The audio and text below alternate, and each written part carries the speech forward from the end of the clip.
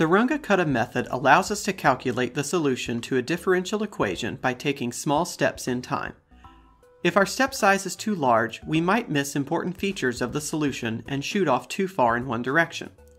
On the other hand, if our step size is smaller than necessary, we might be spending too much time on a boring section of the solution. This is where an adaptive step size is useful. To adapt our step size, we first check to see if taking a step of half the size would result in a significant difference. If it does, like in a region with interesting curvature, we cut the step size in half and start to move along the solution more slowly.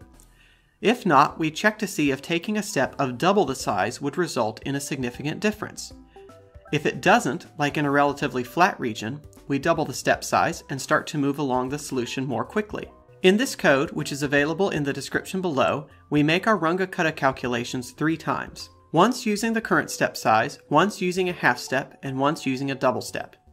In line 59, we compare the difference between the original step and the half step. If the relative difference between them is too large, we cut the step size in half and use the half step value. In line 63, we compare the difference between the original step and the double step. If the relative difference between them is small enough, we double the step size and use the double step value. Also notice that we're enforcing a fixed step size in case x gets very small to avoid dividing by 0. Let's try this out using 3t squared as our differential equation. Notice how the step size changes depending on the curvature of our result and the animation runs faster or slower. If we zoom in, we can see how the data points are spaced differently depending on the step size being used. Next, let's apply this adaptive step Runge-Kutta code to the unsolvable differential equation we examined last time.